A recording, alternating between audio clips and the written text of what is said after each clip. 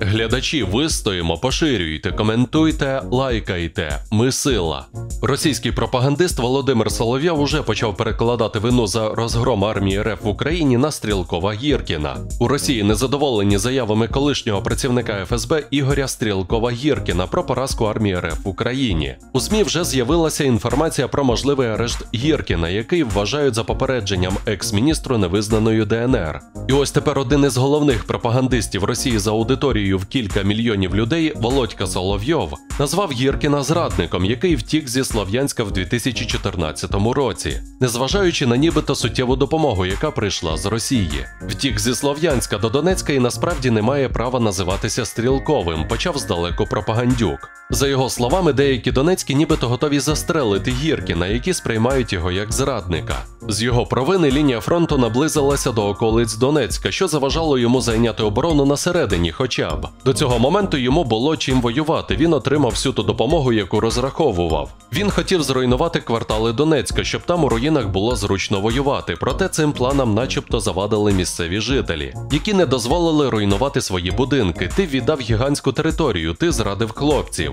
Ви воюєте з верховним головнокомандувачем, ви воюєте з країною, продовжив істерити Соловйов. Соловйов стверджує, що Гіркін нібито працює на американську розвідку, тому винен у розгромі армії РФ в Україні. Ідея вибити головний козир з рук Росії може належати зрадникам або дурням. Сам же диверсант Ігор Стрілков визнав, що Росія несе на захоплені нею землі лише занепад та злидні. З відвертою заявою він виступив 30 квітня у російському Санкт-Петербурзі. Відео він оприлюднив на своєму каналі Телеграм. Під час виступу Стрілков заявив, що за України Донбас жив набагато краще, ніж за Росії. Москва принесла на ці території злидні та беззаконня, свідомо поставивши на чолі шахраїв. Наприклад, ватажок невизнаної ДНР це колишній МММщик Денис Пушилін, котрий обманом виманював гроші у довірливих людей.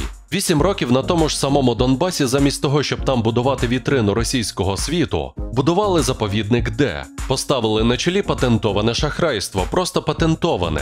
Куди далі, ніж МММ, створили умови, що люди на Донбасі жили гірше, ніж у Росії, і набагато гірше, ніж в Україні. Це що, реклама така? Обурювався російський диверсант.